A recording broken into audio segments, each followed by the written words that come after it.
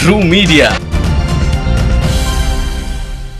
दोस्तों, आज हमारे बीच गीतकार, गज़लकार तुलिक, डॉक्टर तुलिका सेठ जी उपस्थित हैं और अभिनय के क्षेत्र में भी इनका काफ़ी बोलबाला है। दो तीन सीरियल में काम कर चुकी हैं, माँ पिक्चर में आ रही हैं, दो तीन पिक्चरों को साइन कर चुकी हैं, स्क्रिप्ट लिख रही हैं, बहुत से कार्य करती रहती हैं। आज हम इनका साक्षात्कार लेना चाहते हैं। तुलिका जी, आपका बहुत बहुत अभिनंदन है बहुत बहुत स्वागत है। धन्यवाद बहुत बहुत धन्यवाद पुष्पा जी।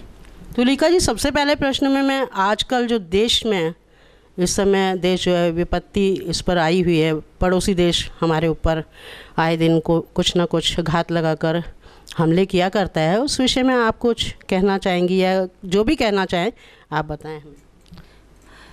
आज बहुत चिंता का विषय है। सबसे पहले तो श्रद्धांजलि देती हूँ नमन करती हूँ शहीदों को और कहना चाहती हूँ मन में है क्या काल के बड़ा बड़ी त्रासदी का विषय है? तब कहना चाहती हूँ मन में है क्या काल के कौन सका है भाप देख धरा की त्रस दी हृदय उठा है काम। बहुत चिंतनीय विषय है कि देश की सुरक्षा के देश के सिपाही जिस तरह से उनकी स्थिति है बहुत दयनीय है। हम लोगों को हम लोगों के सोचने का विषय है कि किस तरह से उनके परिवारों उनके परिवारों की और उनके घर को भावनात्मक रूप से संभाला जाए किया जाए।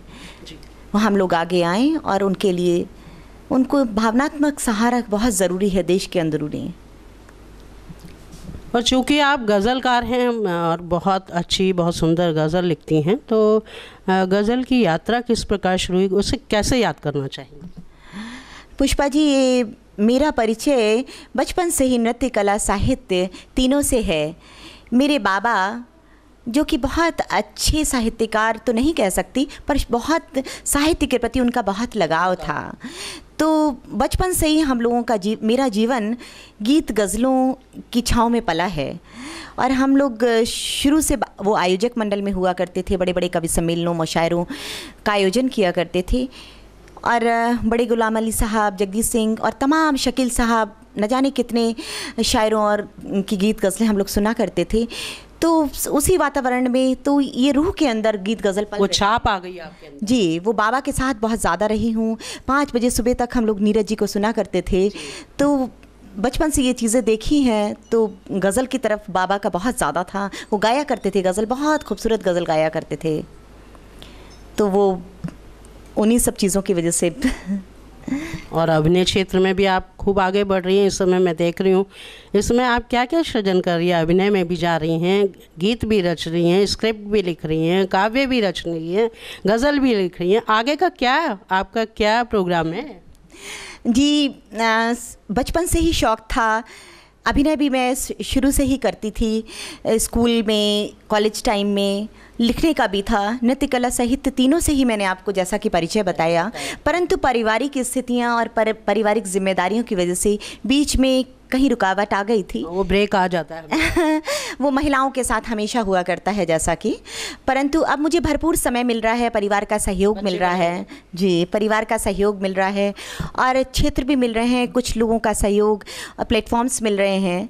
तो इन दिनों मेरी स्क्रिप्ट राइटिंग लिख रही हूँ कुछ मैंने एड फ़िल्म लिखा अभिनय के क्षेत्र में भी मुझे सीरियल और उसके चांस मिल रहे हैं लगातार। हाँ, मनोज जोशी के साथ जी मनोज जोशी जी के साथ बहुत अच्छा लगा बहुत बड़े कलाकार।, कलाकार हैं उनके साथ कुछ क्षण बिताना भी बहुत बड़ी बात है। उनके बहुत सारी चीज़ें सीखने को मिल रही हैं।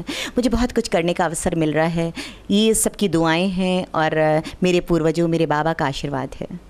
तो आप आगे ट्रू मीडिया के माध्यम से लोगों को क्या संदेश देना चाहेंगी?